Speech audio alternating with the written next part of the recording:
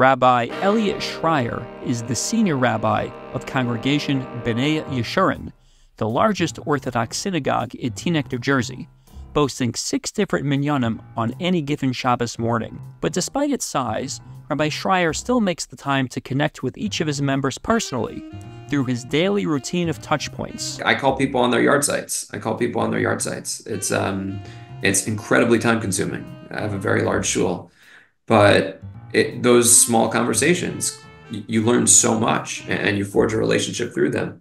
And oh. you're doing all of those other things, you're able to connect with them in the drasha in a more meaningful way as well. Early into his career, Rabbi Schrier had the privilege of being mentored by one of the great Darshanim of our generation, Rabbi Kenneth Hain, senior rabbi of Beth Shalom in Lawrence, New York. One thing that, that Rabbi Hain mastered better than any rabbi, any other rabbi I've ever witnessed, is the way in which a drasha is a tool of connection. This mindset, seeing the drasha as a means of connection between rabbi and kahila, influences all aspects of how Rabbi Schrier crafts and delivers his drashos. This includes how he structures the drasha. But I certainly find that in my best drashos that I'm always starting with that almost like personal opening where I'm just talking one-on-one to hundreds of congregants.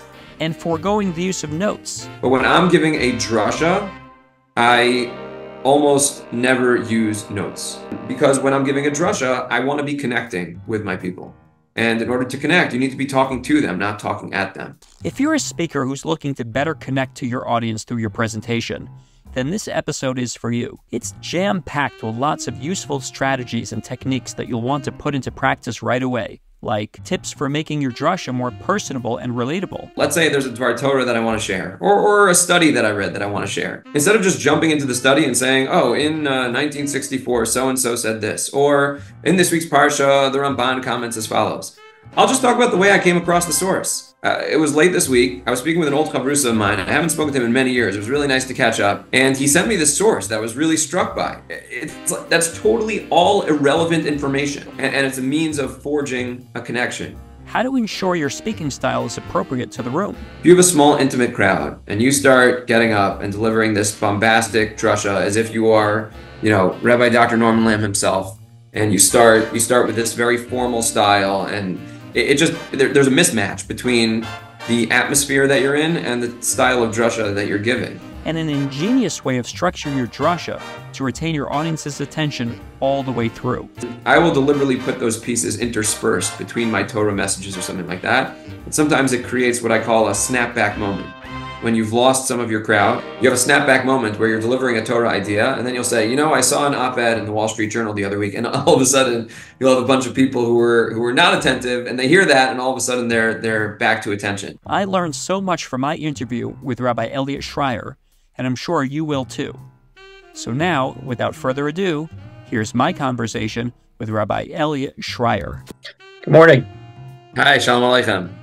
Alaikum shalom. It's good to be spending the time together. You, you made my job a little bit easier because you have a Wikipedia page about you. I don't know who made that. It was not me. I have nothing to do with it, and I don't take any responsibility for it. But yeah, and I learned that um, that you were the rabbi at uh, in, at Albert Einstein uh, beforehand.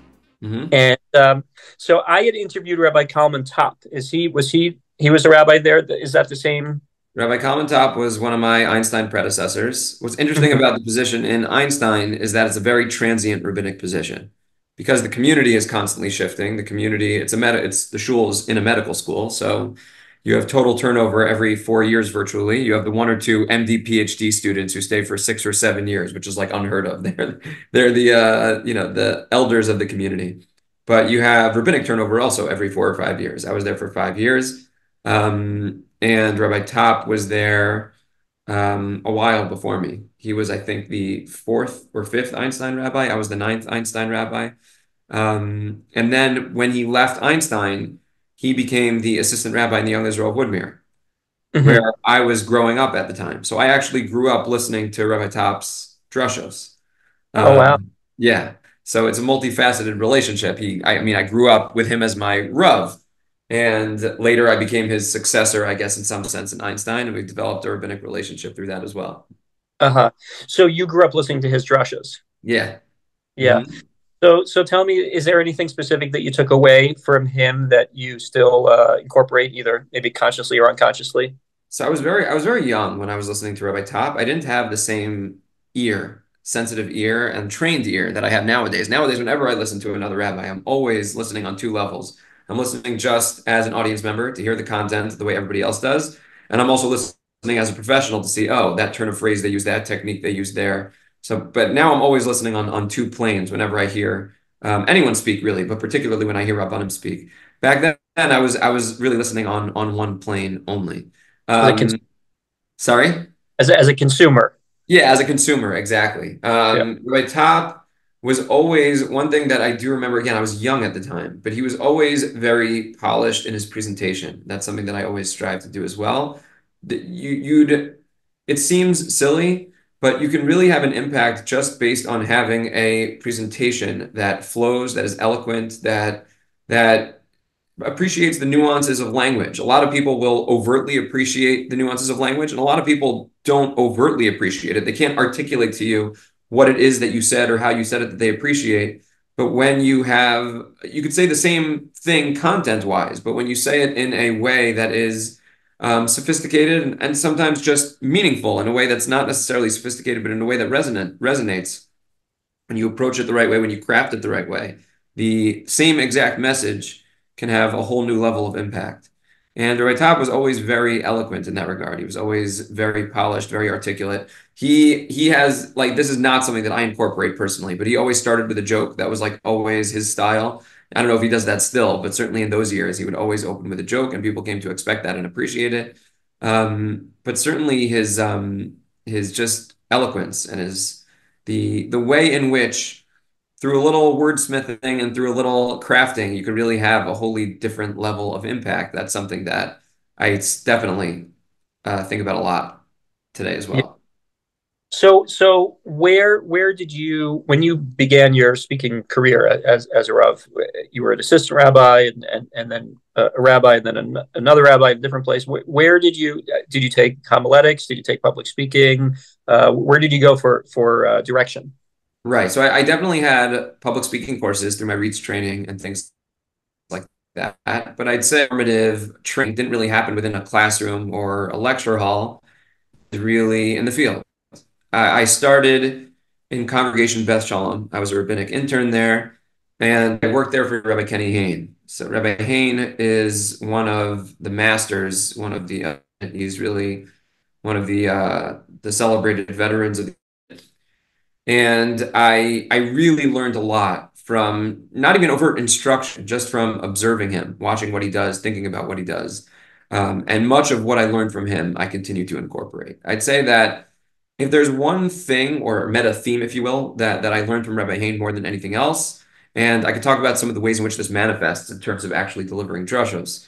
But one thing that, that Rabbi Hain mastered better than any rabbi, any other rabbi I've ever witnessed, is the way in which a drusha is a tool of connection. It's a means towards connection. When rabbis think about what we're trying to do in a drusha, we think about inspiring people. That's certainly uh, an important part of what we do. We try to inspire them to grow and to uh, to strive, to create aspirations, to achieve, etc. Uh, we're looking to teach, of course. There needs to be some Torah content for some people. That's that's the only Torah that they're really getting from their rabbi over the course of the week. So we're looking to teach as well. But Rabbi Hain highlighted to me, and maybe this is intuitive to other Smicha students, but it certainly was not intuitive to me when, when I was a young rabbi that there is a third component of the drasha as well that's just as critical as all the others, and that is connecting. It's a means for the rabbi to connect with his congregants because in this profession, all the growth that you aspire to uh, inspire in others, all the all the goals that you set for yourself, it's all rooted in the relationships and in the connections that you have. And if you lack those connections, you're not going to succeed in achieving any of those loftier, broader goals. And for Rabbi Hain, the drasha was one of his most powerful tools with connecting with his congregants.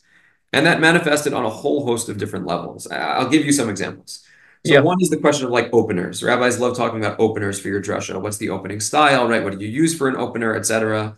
And there's kind of like a formula nowadays. They talk about the rabbi from yesteryear who would open up with in this week's parsha and how You're not supposed to do that. Although I think nowadays, in certain circumstances, it's more effective to do that than opening up with, with a canned opening. Um, but you want to intrigue. There's there's talk about the hook and things like that. So I could tell you that in my most effective drushos, none of that is really on my mind. That's that's not really what I'm looking to do in my opener. When Rabbi Hain opened up a drusha, you felt like you were talking to him around his dining room table. It felt like a conversation. He'd open up in a way that was so natural that, again, he could have just been talking directly to you and telling you just a story about something that happened in his life. And later on, he'd build up to his rhetorical crescendo. I don't know if you've ever heard Rabbi Hain, but he has this deep, booming voice. Um, and he'd, he'd develop the, the, the classic rhetorical style, or, or he'd, he'd kind of ease into that, that rhetorical moment when you're, you're the rabbi as speaker. But at the outset, he was the rabbi who was just talking to you.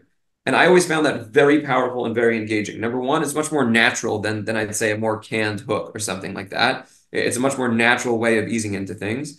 And number two, in terms of that connection piece, you really felt connected to him because it, it, was a drusha to an entire audience, but stylistically, in terms of tone, he, he could have been talking to you personally in a personal conversation. And, and I'll try to do that as well. It's hard to do that every single week. One of the challenges of, of giving drushos is that it's a weekly performance. You finish one and you're already on to the next one. So it's hard to do that on a weekly basis. But I certainly find that in my best drushos that I'm always starting with that almost like personal opening where I'm just talking one-on-one to hundreds of congregants simultaneously. I'll sometimes, I mean, I'll confess openly for, on, the, on this podcast, I'll sometimes even artificially construct ways of doing that, uh, almost artificially. If I will, let's say there's a Dvar Torah that I want to share, or, or a study that I read that I want to share. Instead of just jumping into the study and saying, oh, in uh, 1964, so and so said this, or in this week's Parsha, the Ramban comments as follows, I'll just talk about the way I came across the source. Uh, it was late this week. I was speaking with an old chavrusa of mine. I haven't spoken to him in many years. It was really nice to catch up. And he sent me this source that was really struck by. It's that's totally all irrelevant information, but it's a way of just contextualizing it, humanizing it. It's not just this sterile source that that the rabbi is reading off of a page. The rabbi is sharing with you his process for how he came about it. I'll share how it impacted me, why it resonated with me, um, and things like that. It just becomes much more real, and, and it's a means of forging a connection another thing that that I always try to do, and again, I also got this from from Rabbi Hain as well, is the inclusion of personal elements within a drasha. When I was an intern, I'd give a drasha that I thought was just totally masterful, and afterwards, um, Rabbi Hain would ask me, "Why is this drasha a drasha that no one else could give?" Or in other words, he would say, "Your drasha was very nice, but." Any rabbi could have given that. And, and in this global world that we live in, they could have downloaded it from the internet too. It, it was nice, but where why was it your drusha? In what sense was it a drusha that's uniquely yours that nobody else could have just delivered it from the same piece of paper as well? And when you put a little bit of yourself into the drusha in some way or another, again, that serves that means of, of connecting. You're connecting with people and they're feeling connected to you. There are times when I'll quote like a, a silly personal anecdote um, about about anything going on in life, about uh, I don't know the difficulties with uh, an IT problem on your computer, or or again, just a silly anecdote that I'll quote on the side as a means towards highlighting a larger lesson. And people will come over to you afterwards and say, "Oh, Rabbi, let me tell you about the time that I had a problem with my computer." Or, um, or you know, the problem, the time that I was searching for a parking spot, uh, whatever the case may be, you have these these side anecdotes that um, that serve as a means of letting people know who you are. They feel connected to you, and then they feel inclined to share with you as well, to like open up a little bit about their world when when they're connected. It, it impacts the content that you share. My content is very often crafted by what happens to be resonating with me at any particular moment. And I don't even do that consciously. Very often I, I sit down to prepare a drasha. To me, it's critical for Rabbanim that they make sure that their drasha preparation time is learning time. Sometimes you can be so narrowly focused on the task of preparing a drasha, you can spend an hour and maybe you come up with a good conclusion, maybe you don't, but you haven't really learned anything. To me, it, it's critical that you make your drusha preparation time learning time as well, so that in addition to your to your drusha preparation, you come away with something personally. You have some element of personal growth through the, the, the Torah learning. But lots of times I'll sit down and I'll open up the parsha and I'll find a source that that and I craft a, a personal message, you know, that that derives from from that particular source. And very often, retrospectively, I realize that I found that message because that happens to be what is going through my mind at any particular moment. That's what my soul is wrestling with at that particular moment. That's what's going through my heart. And the message that I'm sharing is, is almost a direct outgrowth of my lived experiences.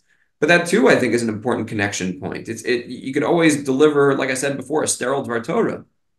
But when you're speaking to what you're feeling, people can sense that. People can tell that it's real for you, that it's genuine for you. I think it's also important to think about what what other people are going through if our goal is connection. You might have goals in terms of messages that you want people to internalize. And and I have my share. When I when I have a message that I want to um, to communicate, a Musser message, a, a point, I'll just jot it down and I'll wait for the right week when I feel like it's appropriate to deliver that message. But week to week, I really try to speak to, to whatever degree possible, what what people are thinking about, what what they're going through. It's been particularly acute over over the last four months for sure. I've said that as much as ordinarily, I really try to think about my drasha ideas, the idea itself, the content, um, in advance, as far in advance as possible, sometimes weeks in advance. These past four months, I have deliberately not been thinking about my drasha message until earliest Wednesday night because the world has been moving so rapidly. Things have been changing so much. I don't know what's going to be on people's minds on Thursday if it's only Monday. Um, and in the few instances where I have tried to prepare in advance, I ended up changing it on Wednesday night because of some events that happened over the course of the week. And again, obviously, these few months, so much has been happening that that really just are are impacting all of us. Um, I, I've I've recrafted it then to try to speak to what people are experiencing, what they're going through. So those are again, I guess, some of the elements. I'll, I'll just give you one more element of connection that I think is important too. Yeah. Um, which goes to the connection of like the, the question of of scripting your drushos and things like that. So person there there are a lot of different approaches to this, and I think every rabbi needs to know what works for them and what doesn't. But when I'm giving a drasha, I almost never use notes. Or if I'm using notes, I use only very, very basic notes. I'll have the source printed, really bare bones material. Um, because when I'm giving a drasha, I want to be connecting with my people. And in order to connect, you need to be talking to them, not talking at them. In other speeches that I give, like when I give a hesped, Rahman al I have it all scripted and, and I read it straight from a script. There, my goal is not connection. There, my goal is to share something meaningful about the the niftar, the niftares, to say something meaningful for the family, etc. Um, but I'm not trying to per- interpersonally connect in the same way. And in that instance, I will just read straight from a script. But when I'm giving a drasha and I have that connection piece in mind, I will I will forego the script. Sometimes that means I leave out a great formulation that I had prepared and I get frustrated with myself afterwards. But the price that you pay there, I think you, you gain tenfold in terms of the connection that you're able to forge. Yeah. It's so interesting to to me to hear you say that because uh, in the interim uh, situation that I was in, I found myself having to give a few hespedim, and I was very much uh, of the mindset, like you're saying, of, of the connection of being present with with the kahila, and and it seemed awkward to do that at the at the levaya it, it just it didn't seem right. I was looking at these people whose whose relative had passed away that I didn't really know the person very well. I didn't know the relative very well, and it just it seemed awkward to connect. So I anchored myself to the text, and it, it just felt more natural actually to to not connect at that time and just to to to put the spotlight on, on the mace, you know, through through the eulogy.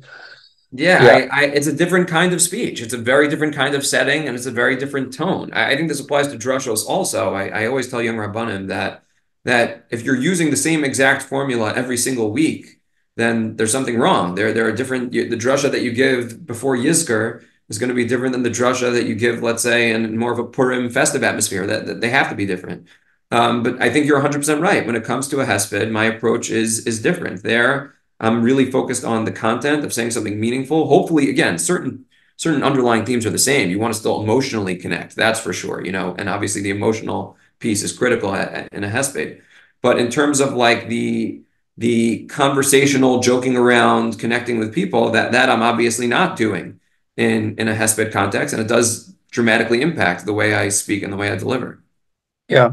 I also found it interesting that you said that you know a, a, a component maybe let's say a, a, third of, of your goal for the drush is to connect with people is these are people that that they're your kahila that you're not a stranger to them and they're not a stranger to you yet that that uh, consistency that you know that continual deposit of you know make another connection another connection another connection it compounds over time and um, yeah I think that's 100% correct. Um, I'll say a few things in terms of in terms of what you just said. So first of all, in terms of like a third, I wouldn't say that every drusha is one third, one third, one third. You know, some drushos focus more on one than on another. Like in, in a broad, if we're looking at things in a macro sense, yeah, I think all teaching, inspiring, connecting, all three of those things are are critical. But I will definitely shift depending on what's happening and, and what I want to convey and some drushos will be more heavy in terms of Torah content. Others will be more focused on a message. There, there's, you know, it's not like every single drasha is broken down. Right.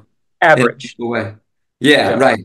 Um, and then in terms of the the connection piece that that you're describing, I think you're you're also again describing that quite accurately. Uh, Rabbi Hain once said to me that he feels like his drasha is a weekly conversation that went on for for decades between him and his people. And, I like to think of things that way also. Uh, in my personal context, I'm, I'm also the rabbi of a very large shul. So I don't have personal touch points with every one of my congregants every single week. I think creating those personal touch points outside the drasha is critical. It's probably a little bit beyond our scope for this podcast, but I, I do strive quite actively to find ways to create those small touch points outside of the drasha with as many congregants as I can. And you'd be surprised by how far just a small two minute conversation can go. Um, but again, that, that's a broader rabbinic piece. In terms of the drasha itself, yeah, it, it is that weekly conversation that's happening between you and your congregants. And, and it's a conversation where they're given an opportunity to respond. They're obviously not responding in the moment. They're not, they're not, uh, they're not offering their rebuttals from the pulpit after you speak. But when you're effective, they will come over to you during the kiddush or just after davening and like I said, they'll offer their thoughts or they'll offer just a personal story about them. That that's unsolicited, but it's almost a natural. It, it evokes it naturally evokes that response when you set that kind of tone that's rooted in conversation, connection, and building that relationship. Yeah. So I'm curious. I, I read that. Uh, at, I think it was your maybe at your installation weekend. So you have six minyanim and you went from minyan to minyan to minyan to to deliver the drush and to kind of get a feel for the culture of every one of those minyanim. And so so describe to me the, the culture of the different minyanim and, and how you know how often you touch them uh, with your drushas and and what cultures uh, you know emerge from that and uh, that, so you, you, may not even realize how potentially political a question you're asking is. I can get myself in trouble by uh, by trying to characterize all of our different minyanim. I won't I won't try to like characterize each one individually. I, I will yep. say a few things. Number one, each one certainly has its own flavor. Each one certainly has its own flavor. Uh, my tone is certainly more formal in some minyanim than others. Um, in some minyanim, I'll focus more in terms of those different components that I told you we're trying to balance. I'll focus more on some rather than others, depending on the different minyanim. When I speak in multiple minyanim, it's always the same basic drasha, but the nuances will differ. The nuances will change depending on the particular tone and flavor of that minyan.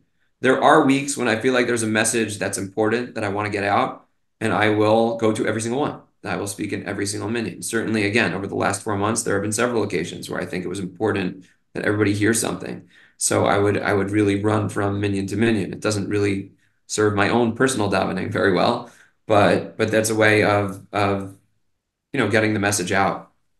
Um, I do think the basic premise of your question is 100% correct. Uh, a rabbi needs to understand the different nuances of each crowd. You need to understand your audience, and you need to you need to craft your message accordingly. I'll just give you one like very broad example. I, I like to tell younger rabbanim that that your drasha can never be bigger than the room. Your drasha can never be bigger than the room. If you have a small, intimate crowd and you start getting up and delivering this bombastic drasha as if you are you know, Rabbi Dr. Norman Lamm himself, and you start you start with this very formal style, and it, it just there, there's a mismatch between the atmosphere that you're in and the style of drasha that you're giving. Um, you could still speak eloquently and articulately, and you should, but you need to just match your rhetorical delivery to to the room that you're in. So we have a main minyan that seats hundreds of people every single Shabbos. We have a Hashkama minyan that's smaller, but also significant. We have a Sfaradi minyan, which is which is much, much smaller. So you just need to make sure that you're sensitive to the differences of your audiences, of the different settings, to make sure that you're delivering appropriately. Yeah. Interesting. So um, tell me a little bit about your process. So today's Wednesday. And so where, where are we in the process? Okay, so it happens to be I'm actually not delivering a drasha this week. We have a scholar in residence, so uh, so that makes things a little bit easier. Um, and I, um, sorry, I, I, said, I said Wednesday. It's really Thursday. It's Thursday already. Correct. Yes, it's Thursday afternoon. So, and I also told you that that it will sometimes depend. Like my my method over the last few months has been different than it ordinarily is, given everything that's going on overseas and the fact the way that's been impacting our emotional experiences, our religious experiences quite profoundly. Um, we've also had, you know, I'm here in Teaneck. We've unfortunately had some some bad anti-Semitism here in Teaneck. So I've really been been holding off. Like I said, earliest Wednesday night have I even been thinking about what I want to say Shabbos morning. Um, in ordinary times, um, the, the the method is very different. I usually like to have an idea far in advance because I find that the longer I let an idea simmer and percolate, the the more effective it is. So so even if um, looking at a drasha a few weeks out, and I'm certainly not thinking about what exactly I'm going to say, if I have a general sense of where I'm going, I'll find that your mind naturally builds connections. You find other pieces, and the product will be much better the longer you let that idea sit. Um, so so the idea itself, you want to be sitting for as long as possible. And then there are two subsequent stages to me. Then there's taking the idea and crafting it. In other words, here is the way I want to present it. And then there's the actual rehearsal for your presentation. So I'd say that that already by by Wednesday night, certainly Thursday, you want to be working on stage two. And then I'd say like, you know, Friday, Friday night, Shabbos morning, you're working on rehearsal. I find also that no matter how much I have rehearsed a drasha, unless I go over it at least once on Shabbos morning, it will not be sharp. Um, before I was a rabbi, I was a Baal Kriya. And, and I find it's very similar in some ways. You're delivering there, there again, there are cadences, there are there are words that you need to master. You, you can master a parsha and laning in the tikkun, but if you don't review it Shabbos morning, it's not going to be sharp. Um, I find for myself that even if I've rehearsed something extensively, if I don't do at least one run on Shabbos morning, it, it will impact the presentation. Hey there, fellow podcast listeners. There's a secret that great public speakers know. Did you know there's a method for cutting straight through to an audience's heart, grabbing their attention and holding it, and making a memorable impact with your presentation? The best speakers in the world utilize it, and now you can too, every time you get up to speak.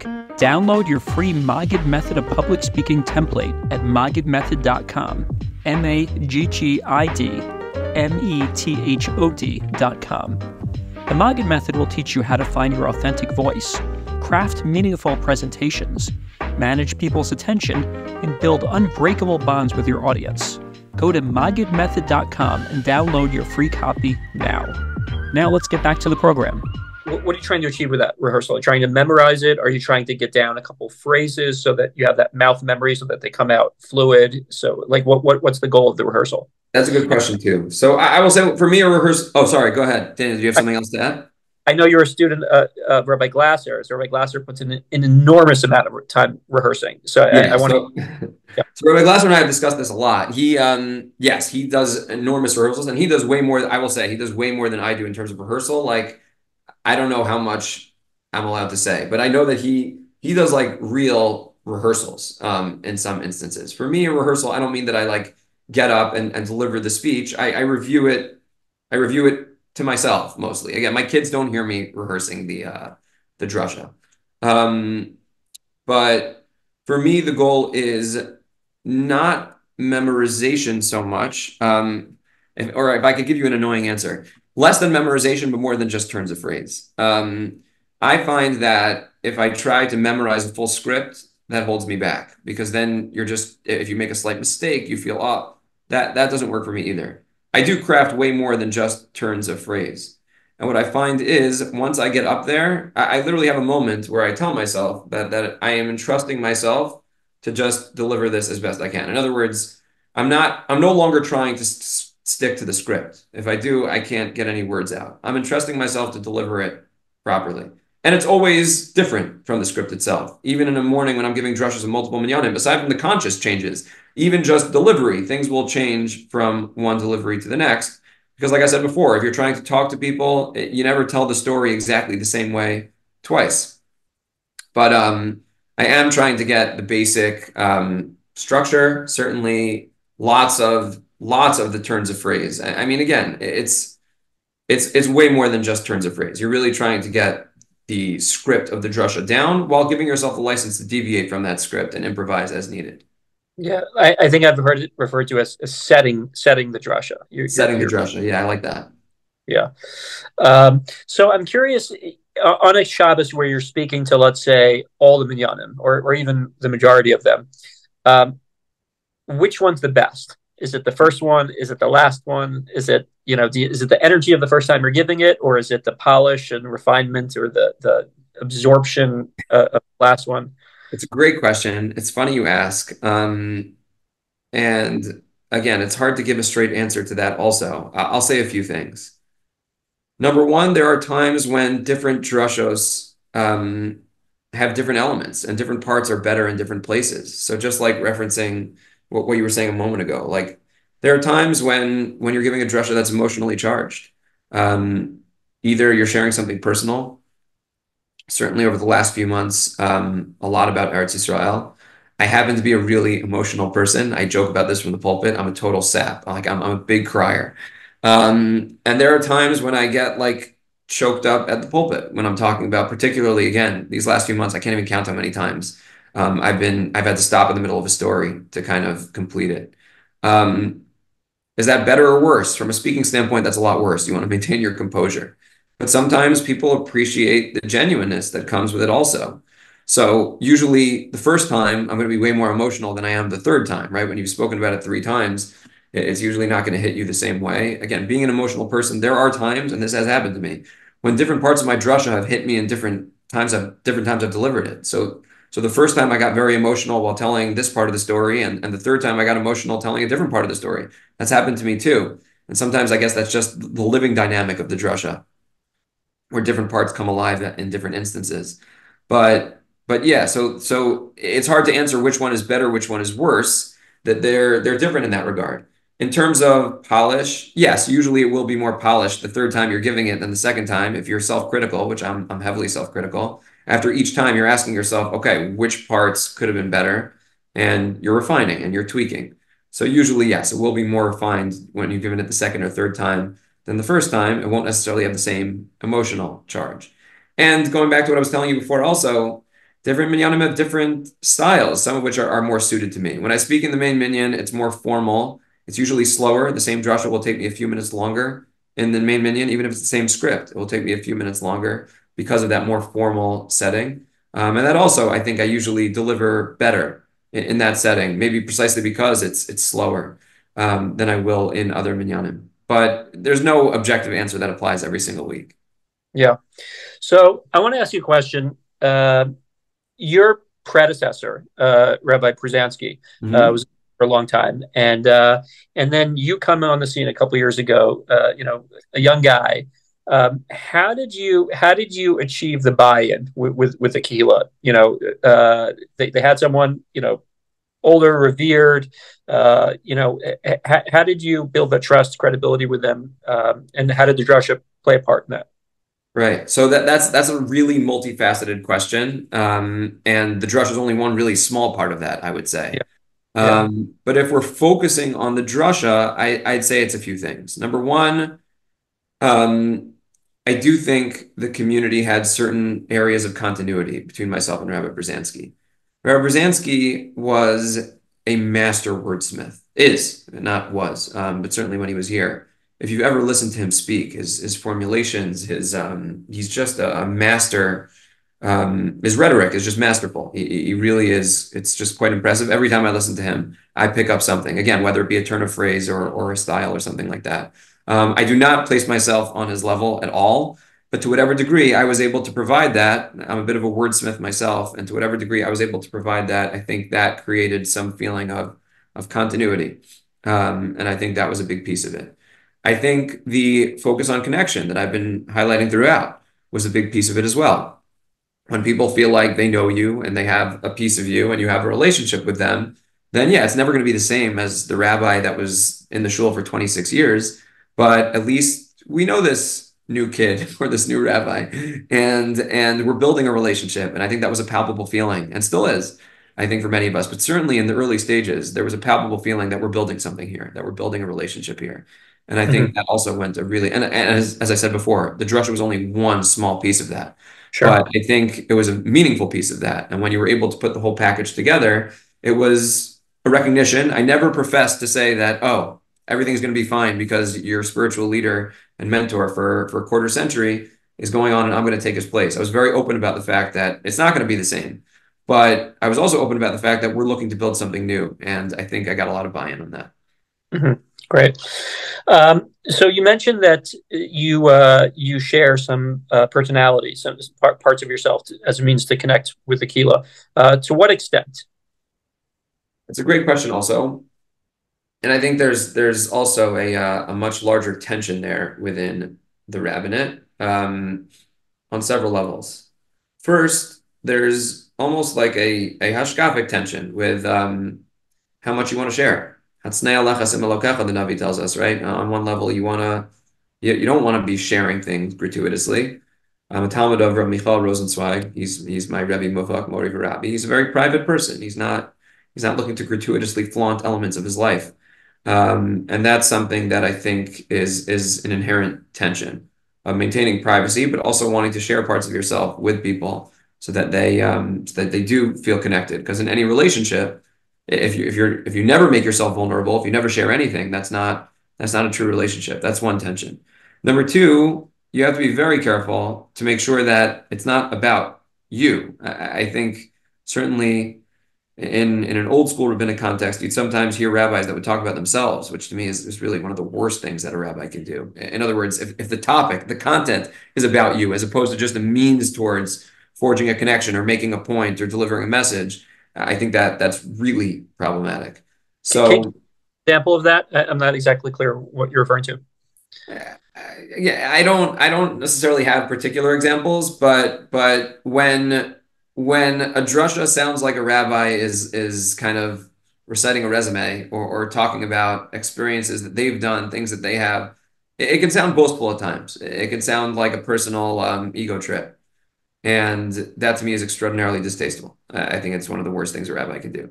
So I think that you need to very, very carefully avoid. Um, I, again, talking about like his day or his job or his or his. No, uh, again, I, I I'm almost hesitant to go into examples. Um, okay. But but yeah, I think I think you just don't. It's a classic skill they teach young rabbanim. Like, don't make it about you. It's not about you. And again, I think Thankfully, you see a lot less of that nowadays than perhaps you did a generation or two generations ago. But I've seen it, and it's it's ugly. Um, okay. But in terms of myself, like it's it's a bit of a it's a bit of a balance. It's a bit of a balance. It's it's um. I will again certain silly things. I'm I'm very happy to share. Like I said, the story about uh when my computer broke and I'll, I'll often engage in self-deprecating humor about how I don't really understand these things and things like that. That that I'll share because it's, it's a triviality. Now, those trivialities, I think, in terms of building a relationship, can be significant because it's a touch point. Um, but that I'll openly share. When it comes to broader things, you you have to strike a balance, and it's it's not always um, it's not always a simple balance. I, I can tell you there was one instance where I shared a story about a conversation between myself and my son um, and the youth, some of the youth directors in shul had heard my drasha, and during groups that day, they made a comment to him about the conversation without any ill intent whatsoever. They were kind of just referencing it, and my son was really upset by that. He was really, he was really not happy with it, and that was a moment of recalibration for me. I need to be much more careful about what I share about my kids. Again, I wasn't talking about my kids; it was a, a conversation between the two of us but it means I need to be more thoughtful and I need to be way more careful about that.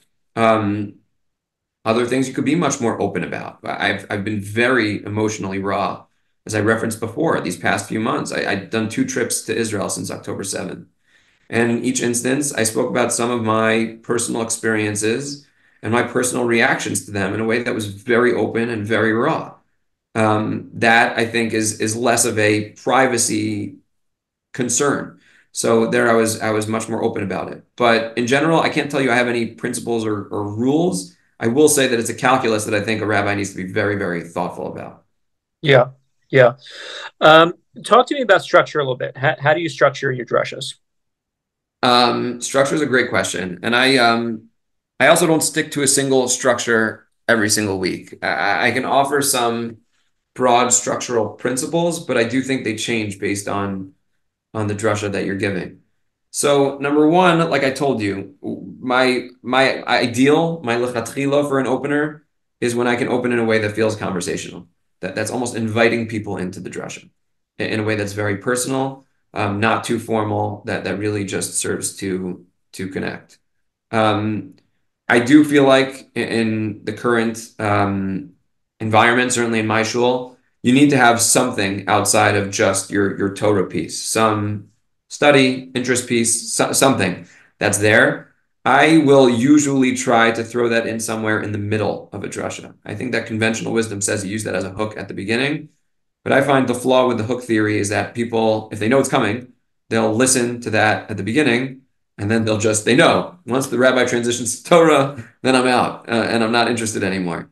So I will, um, I will deliberately put those pieces interspersed between my Torah messages or something like that. But sometimes it creates what I call a snapback moment when you've lost some of your crowd. And of course, every rabbi, when you're delivering, you have to be attentive to your audience and, and learn whatever messages they're projecting to you uh, just through, through listening. So you have a snapback moment where you're delivering a Torah idea, and then you'll say, you know, I saw an op-ed in the Wall Street Journal the other week, and all of a sudden you'll have a bunch of people who were who were not attentive, and they hear that, and all of a sudden they're they're back to attention. And the hope is that once you transition back to a Torah piece, you're able to retain that attention afterwards. So if I have interest pieces, I prefer to intersperse them in the middle to create this this balance, this ebb and flow of the drasha, and give people an opportunity to refocus if they if they lost focus uh, beforehand. But not every drasha is like that. Um, certainly, when I give uh, more what you'd call musari drushos, and we could talk about giving musar in drushos as well. I think there's a lot to be said about that too. Um, a lot of times, I will structure it entirely differently. I will a forecast what I'm about to talk about. I'll say, I think this Shabbos we need to have a frank conversation about talking during shul. So that already everybody's everybody knows that something's coming. The rabbi is ready to tell us something. Then I'll usually deliver a Torah piece. I won't go directly into the Torah piece. I want them to know that it's coming. I, I want to telegraph where it's going. So I'll tell them, you know, we need to talk about talking during shul. I'll offer a Torah piece, and then I'll spend the entire rest of the drasha talking about whatever issue is on my mind. Um, and again, you'll speak about different facets of it. You'll you'll develop it, and it needs to be done the right way. But if it is, that's usually how I'll do that. So that's an entirely different structure. But that that's what serves me well more when I'm giving what I would call more of a Musser style drasha. Um, and and there could be anything in between. I think you got to be flexible. If you, if you have the same structure every single time, I think that detracts. You, you always want to have some measure of, of flexibility. Yeah, and and the closing I find for people is is very difficult. People have a hard time landing yes. plane. And so, how do you approach the close? Do, do you do you work backwards? Do you where do you find the close, or do, does it sometimes it just comes to you at the end? How, how does right. it work with? So it's no, I think closing is one of the most important things to prepare. And if ever I'm limited on time, that's one of the things that I have to I, that I will focus on first. Um, because you could fill in the middle, but but the ending, hey, it's a very important moment. People remember how you close, and it's also like you said, it's difficult. It's not easy. Um, so much so that even when I'm giving a quick dvar halacha between mincha and maariv, not not on Shabbos, let's say on a weekday, five minutes. Um, I I'm not crafting every line of that Dvar Halacha, but I will try to think about what my closing line is going to be. Um, that's that's often I think if you if you're limited on time, that's sometimes the most important thing to think about. And it's funny that you use the language of landing the plane. That's a language that Rabbi J.J. Schachter likes to use, um, yeah. that Rabbi Kenny Hain likes to use as well. You know, sometimes you just keep circling and circling and circling until you crash land. Mashiach kingdom b'meir v'yameinu amen. Right? Like, that's that's just you know everybody's crash landing is uh, is Mashiach Tzidkenu. Or you uh, run out. Of sorry. Or you run out of gas. Yeah, exactly. Right. Yeah, you just you just have to bring it down. Um, I would say that I, I think I'm most effective. I like to create a coda in my closing. I, I like to use my closing as an opportunity to reference back all of the pieces from the beginning through the end. Um, so I'll often use the rule of threes when it comes to a closing. That's a classic rhetorical technique where you'll give three examples. Um, and it's not a strict three. Sometimes it could be more or less if it's crafted the right way. But but I will use a charge at the end of the drasha that references every piece. You know, start goes back to the Dvar Torah. Um, let's follow the example of Yisro HaKohen. Let's uh, you know, and then it will reference whatever study I quoted. Let's make sure we are doing X as opposed to what, whatever the case may be, whatever the, the particular structure is. I'll try to use the the ending as a coda that kind of ties ties it all together. Yeah, that sounds a little bit like uh, reminds me of Pesach Krohn. Rabbi Pesach Krohn does that. I think at the end he always tries to remind people of what he talked about and, and the messages that right. emerge. Yeah. Right. Yeah. yeah. And you don't want to necessarily do it in a heavy-handed or overt way. It's not like, you know, we're it's not like a shiur where, oh, just to review, right? You just want to like tie it in subtly to to everything that you're that you're trying to communicate and convey. Yeah. I have a question. This is a question that comes up from time to time, talking about uh, using AI to craft sermons, uh, and I'm curious what your thoughts are on that. On that. Okay, so that's obviously like a really new uh, topic, um, and people have like crafted drusha. People will talk about like having um, Chat GPT write a drusha for you. So like I, I look, I, I don't, I've never, I haven't been so impressed. Look, I've been very impressed with AI. I don't mean to take away anything from the AI. It's amazing, unbelievable technology from a drasha standpoint, it's obviously still quite limited. Um, I'm not here to rule out the possibility that 10 or 15 years from now, they'll be able to craft drashas better than we will. I think it's still quite limited from, from a drasha standpoint. Um, it certainly does not include the personal elements that I've been talking about, right? If part of it is connection, no AI generated drasha is going to be able to create that for you. That, that certainly is going to be lacking. Where I do find I've started using AI and where I do find it helpful is in finding pieces for a drasha. If I have a particular message, the importance of setting goals in spiritual life, I'll go to ChatGPT and I'll say, hey, can you reference some, I don't know, studies on the psychological impact that setting goals has on, on people's success and failure and things like that. And sometimes it'll give me something valuable, sometimes not. Sometimes I have to ask a few follow-up questions. But it has been very helpful as, as a search engine, in other words, in, in terms of a more effective Google in terms of finding content to plug into Drushos, there I have found it to be a very useful tool. Yeah.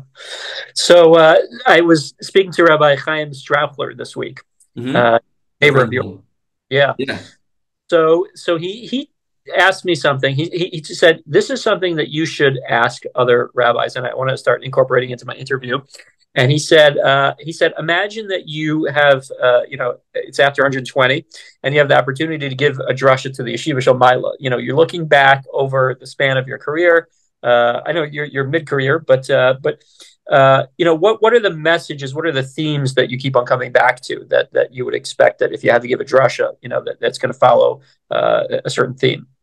So you're asking like like uh, what themes or what content would I be delivering? It's, yeah. it's such an interesting question. It's a great question. Chaim always asks very penetrating, thoughtful questions. Um, Who Haya uh, like what, what what do you represent? You know, what, yeah, th- this is no exception. I'd say that for me, it's only hard to answer because, like I told you before, a lot of times it it really is dependent on where I am spiritually at any given moment. It's very much a response to my own spiritual persona. Like if you'd ask me that question right now, my themes are Am Yisrael, advancing Jewish history, being a part of the saga of Jewish history, uh, appreciating peoplehood, right? Because those are the themes that are on all our minds right now, and I'm certainly no exception.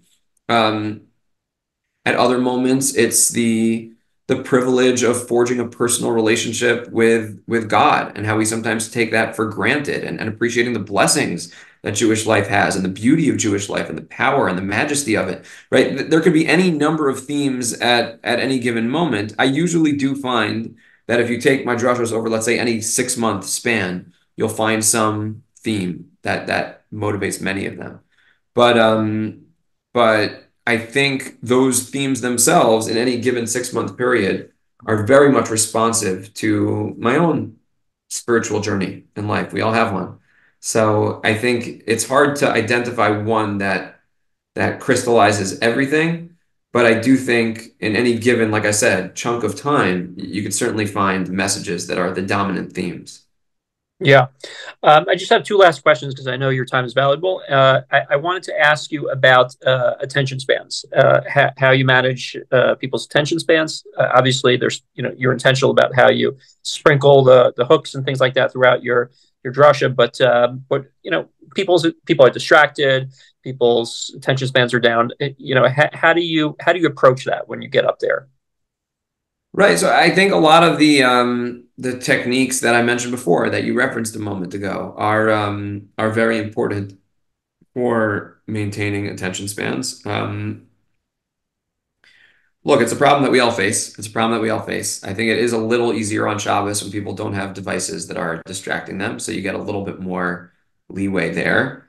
And I think when you're crafting, you have to be very, very mindful of it. I find that again, the the structural pieces that we spoke about are a big piece of keeping people's attention. I think the the formulations, the if I think are a big piece of keeping people's attention as well. When you when you have a poetic quality to your prose, I think it does hold people's attention for longer. It doesn't come off as a, as a stale message. It's it's interesting. It's a it's a different way of formulating things, and people are again whether they can articulate it or not, they're drawn to the formulations.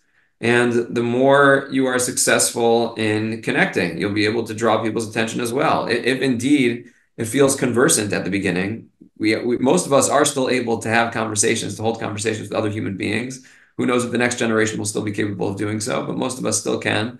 And if you're succeeding in doing that as well, you'll be able to to hold for longer because it's not just I'm not just listening to you speak. Like I said before, I'm not listening to you speak at me, but I'm I'm hearing you speak to me. And I think that's also a very effective piece of, of holding people's attention. Yeah. Uh, okay, and the last question is uh, two pieces of advice that you have to give to a new uh, a rabbi who's embarking on a speaking career uh, to set him up for success. The two most uh, important things that you'd want him to know. Ah, uh, beyond everything we've spoken about to this point. Or, or it could be it could incorporate some of the, the things that you you already mentioned. Yeah, look, again, obviously, I think I think a lot of the themes that we've been talking about are obviously critical critical pieces. Um, but I, I guess, and this might be a cheap answer, but I'd say the two most important things that you have to know are you have to know yourself and you have to know your audience. Those are the two most important things that you have to know. First, you have to you have to know your own voice. You have to know your own voice. And if you're just trying to parrot or mimic another speaker, even a great speaker, a speaker that you greatly admire, you're not going to succeed. You need to find your own voice. Like I said before, I said I told you before that whenever I listen to another rabbinic speaker, I'm always listening on two planes. You know, what what can I incorporate, what can I not? There are times when I will listen to a speaker and say, this feature of what they did was absolutely masterful, and I am never ever going to do it. It, was fantastic. It just doesn't match my voice. I would never be able to pull it off, and and it, it would just be artificial if I tried to do it. As much as I admire it in somebody else, I know that personally it won't work. So you need to know who you are, what your voice is, what your messages are, what you're trying to convey. If you don't understand who you are, you're never going to be able to inspire others. That's key. And number two, you need to understand your audience. You need to understand where they're at, what, what's on their mind, what are the spiritual battles that they're going through, what are the spiritual struggles they're experiencing, what are the experiential, emotional, psychological features of their lives that you need to be speaking to, that you need to be tending to as as their rub. Hopefully, in, in an ideal circumstance, who you are and who they are will will mesh su- sufficiently that you can speak to them and also inspire them. You don't want it to be you don't want to have a disconnect. And of course, you don't want to be in a place where you're incapable of inspiring growth and, and moving them forward. But hopefully, in an ideal scenario, there is that overlap between between the voice that's in you and and what you're learning from them and what you're communicating to them. But I think I think that's critical. Um, I think it's always been critical. It's particularly critical now in the world where we live in, where people just for content they can just access the internet and and access any content that they want. Um, so to be able to to understand yourself, understand them, and create the dialogue between them and the connection between the two, I think is probably the most the most important thing before that, that precedes really any of the techniques or themes or even goals. You have to understand those two basic pieces before moving forward. Right. Amazing. And I, I, would imagine a lot of that comes off the pulpit, right? It, it's it's touching people pastorally, learning about them. Yeah. Then- yeah. It's all integrated. It's all integrated in the end of the day. But yeah, it's it's understanding them, it's understanding yourself. I, I think it's critical. I mean, if we're talking about the broader piece of, of knowing yourself, I think it's critical for rabbis to keep growing. I think it's essential. You can't view yourself as having grown when you were in yeshiva or when you're in smicha. And now, okay, now you're just going to sit on that repository of knowledge that you built, or maybe enhance it a little bit and just deliver that. I think you can't lose the the yeshiva bochur, if you will, that's inside of you, that's always aspiring to grow and push and, and learn more. I think that's that's a critical part of knowing yourself. In terms of knowing them, yeah, you're 100% right. That's the holistic picture. It comes through the small conversations that you have. It, it comes through the life cycle moments, the joyous moments, the the more challenging moments. It comes through um, the moments they sit in your office for pastoral guidance. Um, I mentioned to you before, again, this is not our, our, narrow topic. I call people on their yahrzeits. I call people on their yahrzeits. It's um, it's incredibly time consuming. I have a very large shul, but it, those small conversations, you learn so much and you forge a relationship through them. And wow. you're doing all of those other things, you're able to connect with them in the drasha in a more meaningful way as well. Amazing. Thank you so much. You've been listening to The Maggid Method, and I'm Daniel Steinberg. Learn more about the Maggid Method at M-A-G-G-I-D M-E-T-H-O-D dot com, maggidmethod.com. Thanks for listening. Bye bye.